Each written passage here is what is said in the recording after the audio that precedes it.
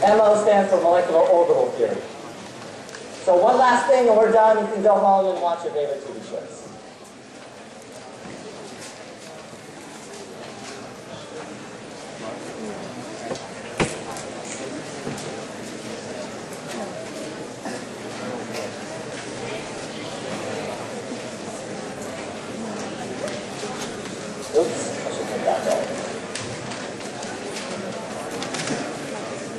Okay.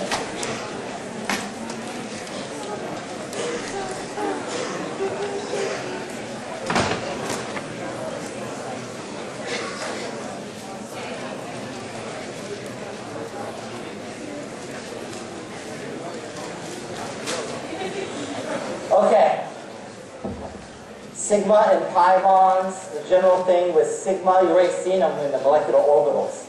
Sigma means that the bond is between the nuclei.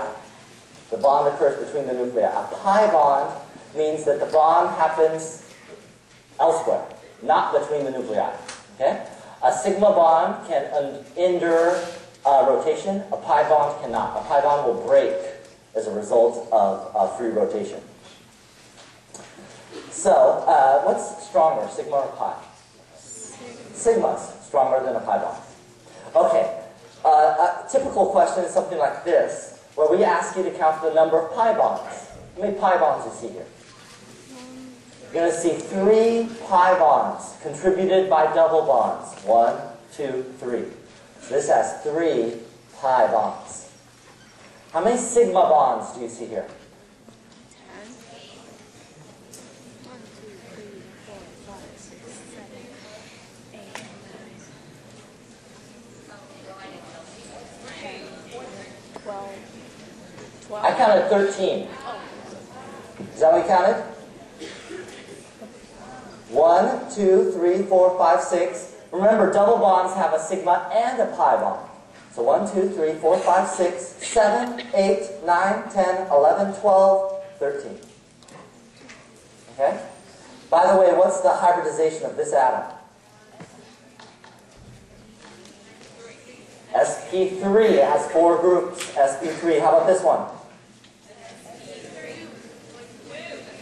Sp2 has three groups. But what orbital for this one?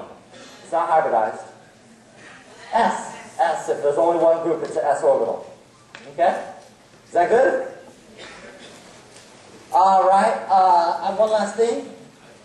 Then we're done. Uh, some people already signed up for this, but usually in my review sessions, uh, I advertise. Next quarter, I'm starting a little like spiritual group where people want to discuss spiritual things.